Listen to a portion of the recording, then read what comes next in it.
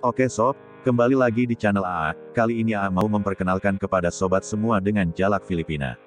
Tapi, sebelum lanjut, bagi sobat AA yang belum subscribe, silahkan klik dulu tombol subscribe-nya, dan nyalakan juga loncengnya supaya tidak ketinggalan video-video terbaru dari AA. Jalak Filipina, Chestnut Chick Starling Agropsar philippensis, merupakan salah satu anggota keluarga Sturmidae atau jalak-jalakan. Burung ini sebenarnya berasal dan berbiak di Jepang.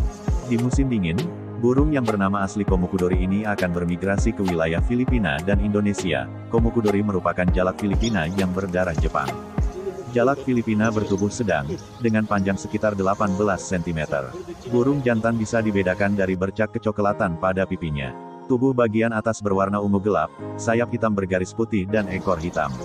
Adapun burung betina mempunyai tubuh bagian atas coklat keabu-abuan dan tubuh bagian bawah putih.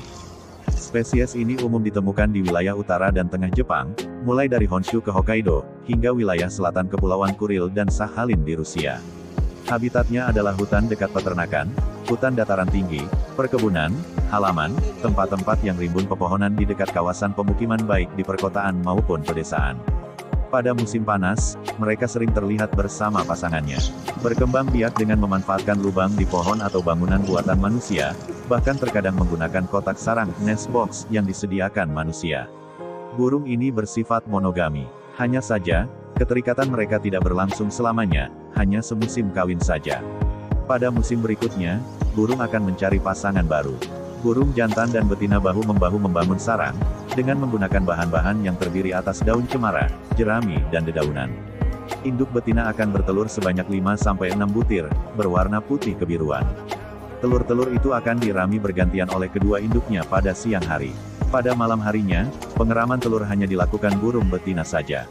Masa pengeraman berlangsung selama 12-13 hari, tapi biasanya telur akan menetas setelah berumur 11 hari, sejak telur terakhir dikeluarkan induk betina.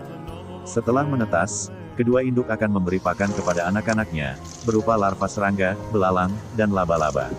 Selama masa berkembang biak, burung jantan akan menjadi sangat teritorial.